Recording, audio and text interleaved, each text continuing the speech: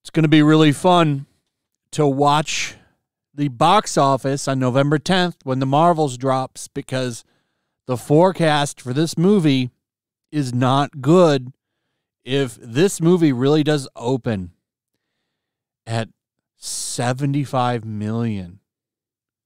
That is going to be a disaster. And I don't know if Disney can take any more. They've had so many box office flops this year and last year. Don't forget, they still have that Wish movie coming out, which I've only seen one trailer for that movie. They're not even promoting it. Maybe they're going to put all their eggs in this basket first and then switch over to Wish. I don't know. But yeah, the forecast for this movie is bad. We'll see what happens. Maybe it's wrong. I mean, it is still kind of early, but I will be blown away if this movie flops this badly. Because when you compare this to the first one, I mean, that'll be a dramatic drop.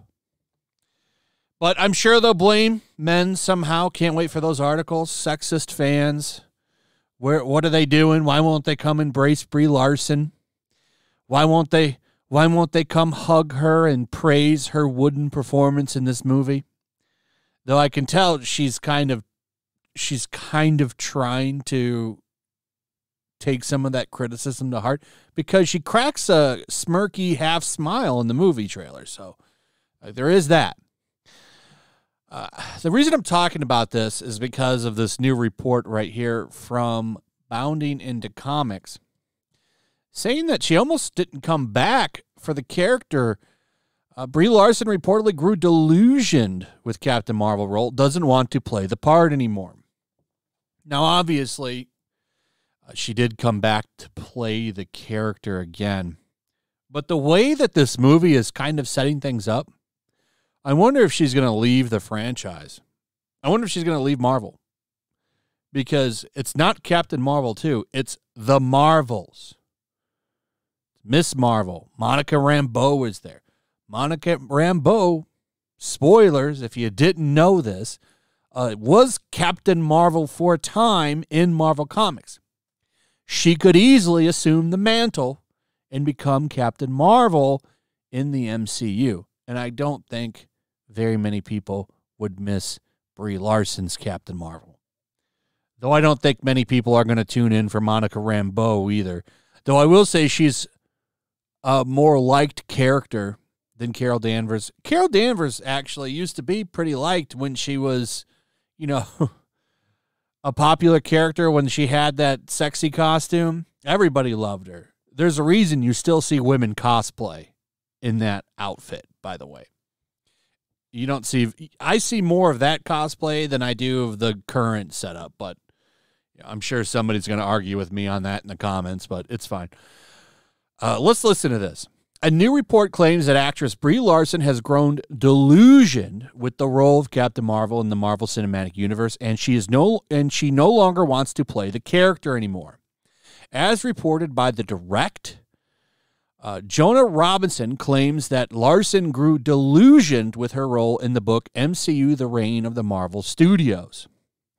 Specifically, Robinson wrote, "The future of those Marvel icons was unclear."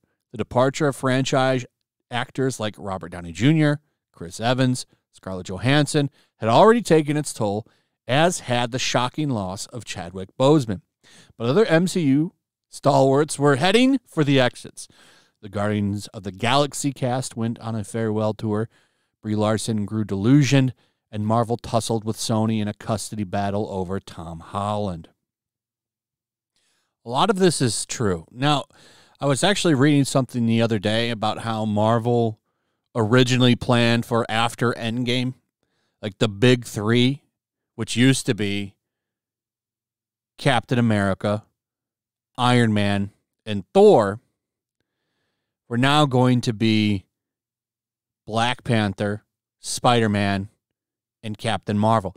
And that kind of lines up with the rumors that were going around even I think years ago. We were talking about this and how Captain Marvel was going to replace Iron Man, and that in itself is laughable because uh, she is just nowhere near the level of Robert Downey Jr., who was pure charisma in that role. He was really good as Iron Man, just oozed charisma. And Brie Larson does not do that with with Carol Danvers. She has a very wooden performance. It's not very good, which is strange because in other movies she's much better. But for some reason in these Marvel movies, maybe it's direction, I don't know.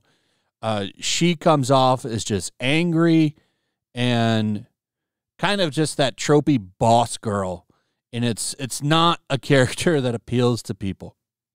The sales of her comics kind of prove that. People will point to that that first movie making as much money as it did. I'm gonna I'm gonna go ahead and remind you that it was sandwiched between two of the biggest movies of all time. This movie is to show you just how popular not just her character, but Miss Marvel and uh, Samuel Jackson, like all those characters, how popular are they? Are they? You're about to find out. You're about to find out. And if that box office true is true, it's going to be funny because we're all me and a bunch of other people are going to get to say, "Oh, we were right." Uh, during an appearance on the Watch podcast, podcast, Robinson added, I don't know if Brie Larson was the wrong person for the role necessarily, but the toxic backlash means that Brie Larson doesn't want to play Carol Danvers anymore. She added, That's sort of what she said. She was interviewed at D23, and they're like, So, you know, we're going to see a bunch more movies from Carol Danvers. She's like, I don't know. Does anyone want to see me play Carol Danvers? Doesn't seem like it. And that's this interview right here. Uh, Robertson went on to detail that Larson wanting to leave the role of Captain Marvel is not the case during the filming of Avengers Endgame. She said Chadwick Boseman told me the story about the set of Endgame where he and Brie and Holland sat around and talked about the future of Marvel and how exciting it was for them. But then, you know, Boseman passed away. Sony and Marvel started to argue about Spider Man, which is never going to stop, by the way. That's never going to stop. As long as Sony has control of the movie rights, they're always going to push for as much as they can get. So uh, don't be shocked if he ends up, he does end up leaving the MCU. Uh, but uh, after all that happened, uh, apparently the toxic fandom is what started to sour her on this role. She added, There's so many factors that came into play that sort of knocked their plan out under them. The report comes out just as the Disney company and Marvel Studios are ramping up promotion for Larson's upcoming The Marvels film, where she does come back, uh, but the film is facing box office headwinds. So this is interesting. So she almost didn't come back. I wonder how did they get her to come back then? Because it sounds like she was going to quit. And I remember hearing that get kicked around in some of the channels, you know, outside of the mainstream. People were talking about it. I think there was something to it. So and they must have given her a big fat stack of cash to come back, making that budget even worse.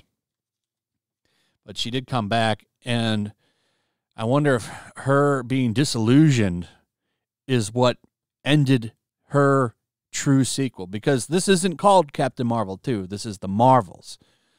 So I wonder if they're setting that up. Gave her some money, and at the end of this movie, does she leave and give the mantle to Monica Rambeau?